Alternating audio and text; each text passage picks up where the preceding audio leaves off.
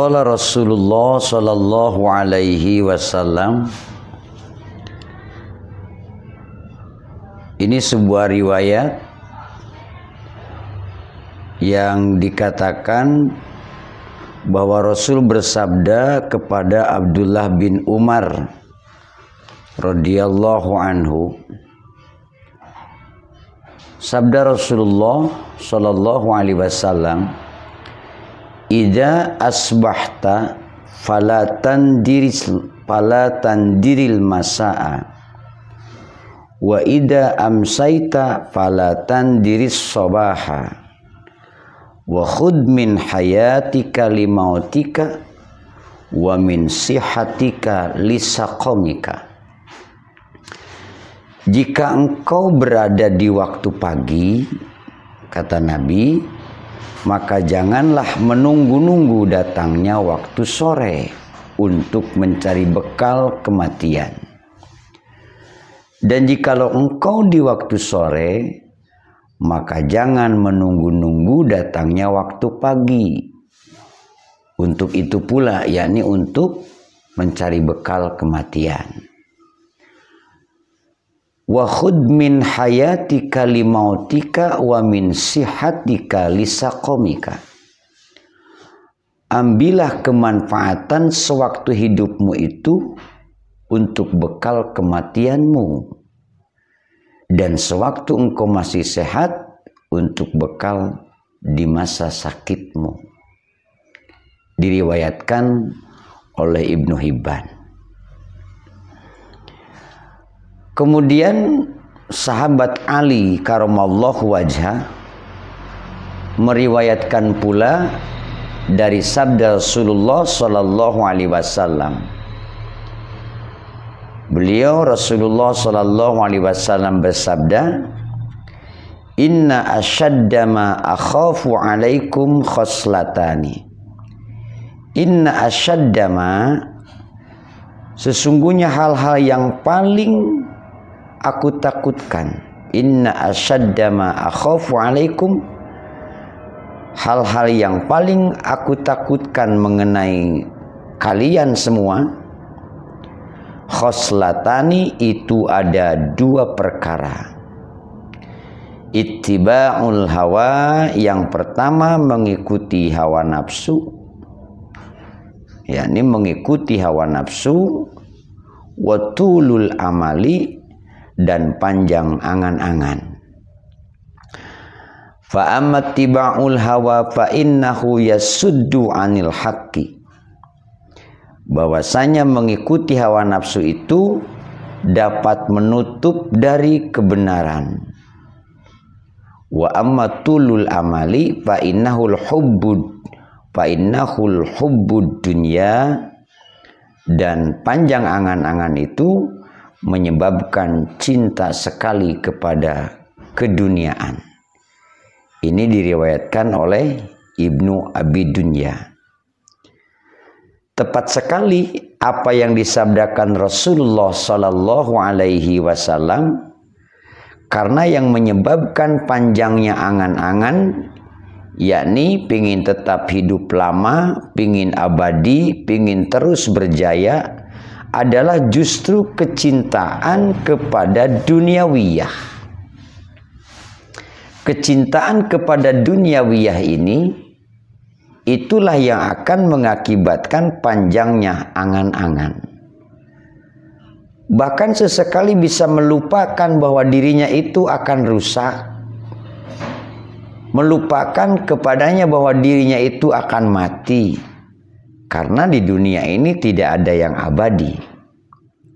Tapi karena panjangnya angan-angan itu, nah justru ini akan mengakibatkan cinta kepada duniawiyah yang berlebih-lebihan.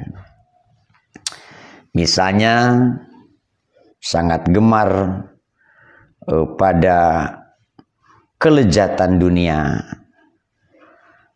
Itu semua terjadi karena kebodohan semata-mata pada dirinya. Sehingga takut sekali kedatangan mati. Karena mati itu datang secara tiba-tiba. takut mati yang disebut karohiyatil maut. Nah, hubbud dunya wa karohiyatil maut. Cinta dunia, takut kematian. Padahal mati itu tidak bisa ditakut-takut begitu. Takut atau tidak takut, kematian itu akan tetap datang, akan tetap terjadi. Mestinya sebagai orang yang beriman adalah mempersiapkan diri untuk kematian itu di setiap saat. Artinya menyiapkan bekal amal soleh. Nah, di akibat dia bodoh, sehingga takut sekali kedatangan mati itu secara tiba-tiba. Orang semacam ini tentunya tidak mengetahui bahwa kematian itu sebenarnya pasti akan datang kepadanya. Dan tidak lama lagi. Karena hidup di dunia ini tidak lama dibanding dengan umurnya dunia. Ya, kurang 100 tahun untuk umat-umat di zaman sekarang ini. 100 tahun itu usia yang sudah sangat istimewa. Jarang orang yang usia sampai di 100 tahun. Hmm. Nah, sedangkan kematian itu datangnya eh, apa? Datangnya itu tidak pandang waktu, tidak pandang kepada siapa bila ajalnya telah tiba. Idza jaa ajaluhum la yastakhiruna sa'ata wa la yastaqdimun. Nah, seperti yang sering kita dengar ayat ini bahwa ajal itu apabila sudah tiba waktunya dia tidak bisa dipercepat atau tidak bisa pula diperlambat gitu. Ah, tidak pandang waktu ya. Apakah datangnya itu di saat muda, di saat tua, ataupun sangat tua sekali, bahkan anak-anak. Apakah di musim kemarau, apakah di musim hujan, musim bunga, musim semi, dan lain sebagainya. Tidak, tidak begitu. Tidak ada musim, kapan pun bisa terjadi, di mana pun bisa terjadi.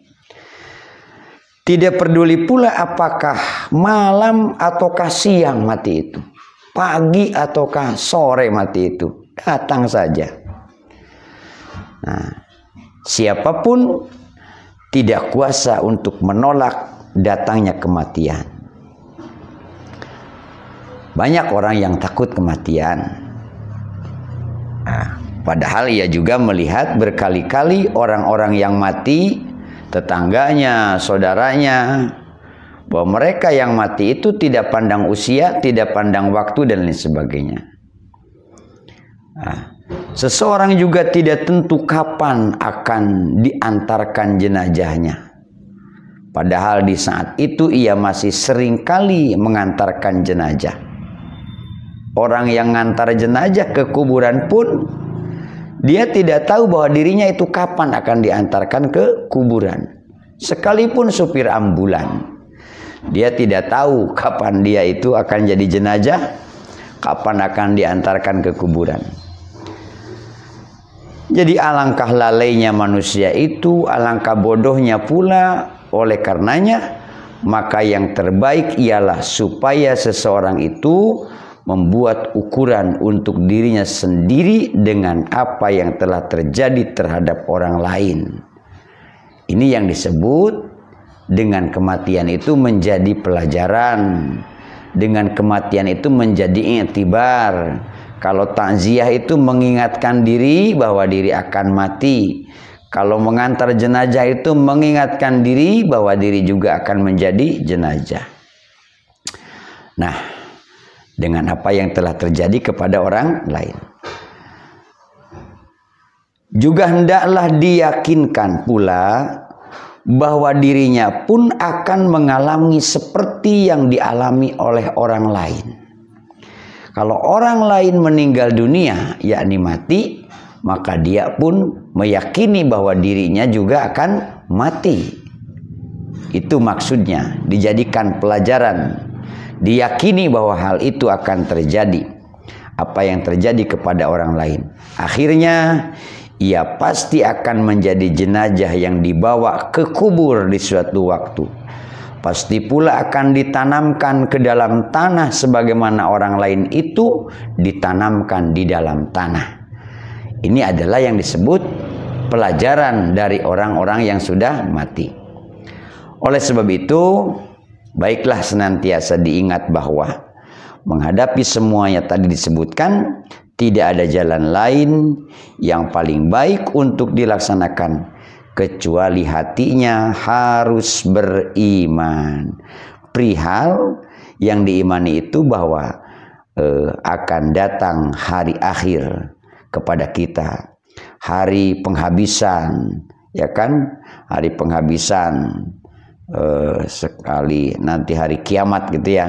Selain itu juga meyakinkan dengan sungguh-sungguh apa yang akan ada yang akan terjadi di hari akhirat. Yakni bahwa di sana itu tersedialah dua macam hal yang amat pedih dan menyakitkan sekali. Sedang yang satunya adalah kesenangan yang tiada tara kebahagiaan yang luar biasa apabila perasaan yang demikian sudah dapat uh, dirasakan benar-benar dalam hatinya maka insya Allah akan terpatri pula lah kecintaannya untuk mencari bekal-bekal yang perlu dipersiapkan pada saat dia nanti mati. Artinya waktu hidup disiapkan perbekalannya untuk bekal nanti setelah mati. Sebab al-qabru sundukul amal. Kubur itu adalah petinya amal. Amalnya itu dicari atau dikumpulkan pada waktu kita hidup di dunia. Oleh karena tadi ida asbahta fala tantadiril masaa wa ida amsaita fala tandiris sabaha wa hud min hayatika limautika wa min sihatika lisaqomika apabila kamu ada di waktu pagi tidak perlu menunggu-nunggu datangnya waktu sore untuk membuat segala kebaikan. Dan apabila di waktu sore tidak perlu menunggu-nunggu datangnya waktu pagi untuk menyiapkan apa berbuat kebaikan untuk bekal kematian.